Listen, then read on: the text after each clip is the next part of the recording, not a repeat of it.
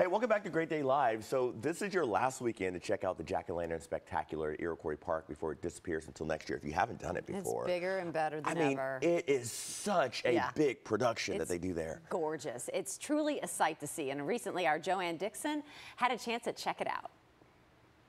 What better way to celebrate spooky season than at, at the Jack-O-Lantern Spectacular, which is presented by Thornton's. With me is Brooke Pardue with the Parks Alliance of Louisville. Now, it looks amazing now, but when it's lit up at night, it's on a oh, totally different level.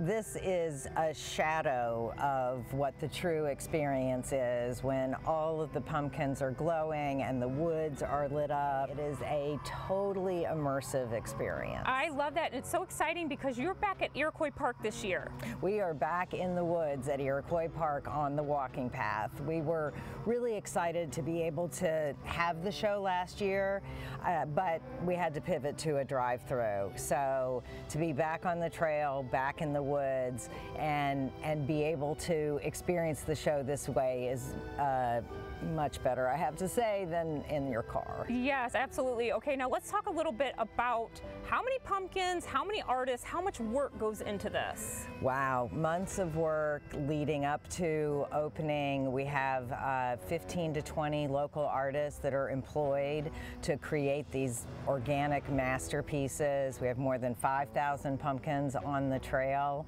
It is, uh, it, it is a tremendous production. Uh, this year's theme is Changing the Channel, a timeline of television history. So not only do you see your favorite characters from the golden age of television all the way through to Shark Week and Netflix, uh, but it's the soundtrack of our lives, right? So the music adds so much to it with all the theme songs from these great shows. That is so cool. And this really is fun for the whole family. It's not too spooky. No, it is not spooky at all. It is great for the little ones who will see some of their favorites out there from Sesame Street and those kind of things up to grandparents who uh, remember watching I Love Lucy.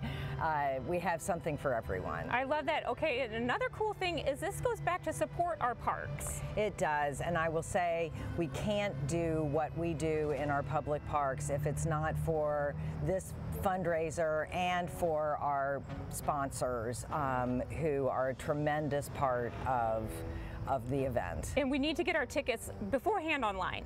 Correct. We've gone to time ticketing every day of the show this year, so we're really encouraging people to pick the day you want to be here, pick the time you want to be here, and go ahead and buy those tickets. Fantastic. Well, thanks so much for showing us around today. Thank you.